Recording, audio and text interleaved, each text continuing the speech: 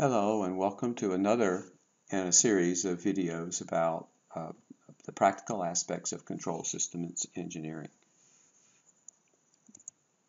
In this video we will look at um, uh, control loop again as we did before, at least that's where we'll start. we'll start with the control loop with the components of the control loop, the five components, four blocks and then a summing junction uh, that are the standard um, uh, components in a control loop arranged as shown in this diagram.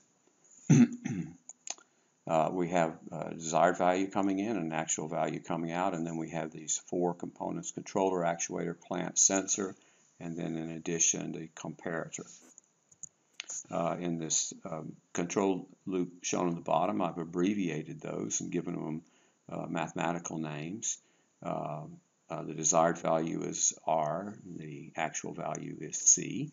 R stands for reference, uh, C stands for, I'm not sure what C stands for, but C is one of the standard um, uh, variables used to describe the uh, uh output of the controller. And the components are, are named G, that's the standard universal um, name for a component in a block, uh, with the subscript indicating which component that belongs to, the controller, the actuator, the plant, and then also the sensor. Notice that in each of these cases here, whether it be a signal, which is R or C, on an arrow, or a component, which is in a block, they're shown as functions of S. Uh, this is um, a um, um, results from the fact that uh, uh, Laplace transforms are used as a standard uh, solution methodology uh, for dealing with uh, ordinary differential equations and um, control, uh, control and controls engineering. We need not concern ourselves with that uh, here. So now I'm going to start with the uh, control loop as shown on the bottom of the previous slide.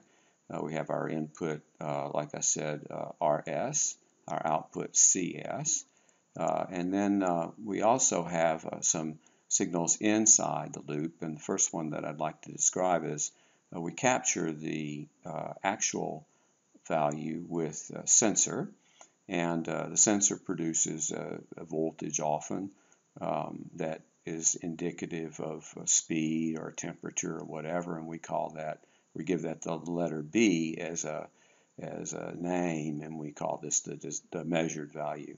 Uh, so the next thing that we do in a feedback control loop uh, we see the feedback path here is described in the first slide that was produced for this series. Um, uh, the sensor produces B, the measured value, and is compared with RS, which is the desired value, and produces an, what's called an error.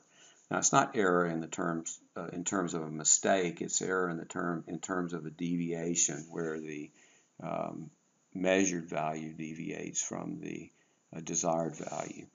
Uh, we name that the error. The error goes into the controller, and the controller gets that error and decides what it's going to do, uh, and it produces an output which is called a command to the actuator to tell the actuator to do something to bring the uh, actual value in line with the desired value. The command value goes into the actuator, and the actuator produces a force. The force uh, then goes into the plant and the plant responds and uh, hopefully moves the uh, actual value in the direction that, in the direction of the desired value. Now, um, that term force is used in a very generic sense. It could be an actual force, but it could be a voltage also. It could be a flow, uh, a fluid flow. So it could be any number of things, and we use that. We use that in very general sense. Now we can take this loop and also abbreviate it even further get rid of the S's just because it gets to be monotonous to write the S's all the time and simply produce the, um, um, the representation of the control loop that's shown on the bottom of this slide. Notice that I've changed the um, uh, symbol for um, the sensor to H and it's standard to um, name this, the um, blocks in the feedback path of the controller H rather than G. Again, all of the um, details of this are contained in the uh, book that I've written, uh, the practical book that I've written about control systems is available uh, uh, for $25 through the uh, um, through notifying me via email. Thank you, and that uh, is uh, that concludes this short video on uh, signals in a control loop. Until next time.